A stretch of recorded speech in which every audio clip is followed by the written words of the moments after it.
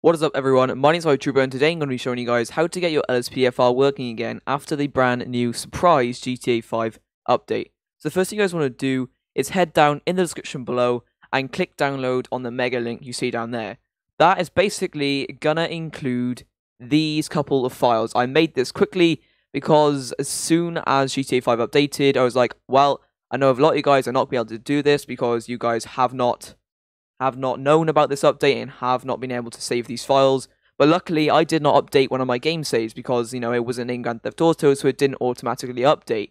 So I grabbed these couple of game files, this is pretty much the exact same fix to what happened last year. So I knew this would be the same fix, so I thought I'd do the same thing, try it out, and let alone it did work. So head down in the description below and download these two files. These are from my game, and this is what will get your GTA 5 working again after the update until everything else updates like LSPDFR, Rage Plugin Hook, and Script Hook V. So download that, and then what you're going to do is bring up your GTA 5 main directory.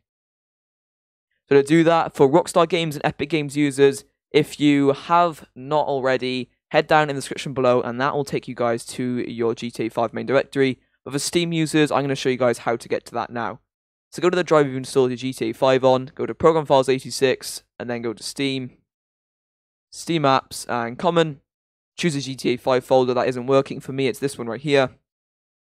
And then what you want to do is load up your Rage plugin hook. And either it's going to give you an error saying it's not a supported version, or it's going to load like that and just click the settings icon. It should pause, it should close out, and after a minute, if you give it some time, there you go, it should open up a menu like this. Then what you're going to want to do is head over to game settings and click revert game version.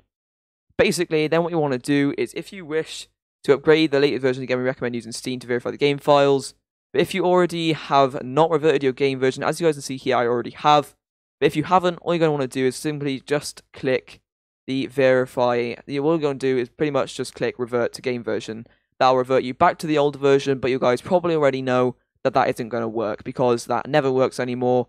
Because unfortunately, GTA 5 updated something and it broke that back up. So what you're going to do after doing that is still helps out with the whole game file. So make sure you revert back.